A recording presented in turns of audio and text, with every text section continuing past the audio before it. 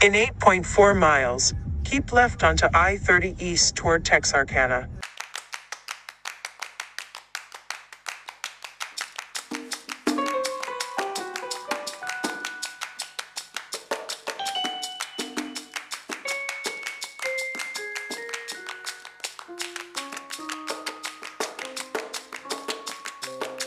Stay in the left two lanes.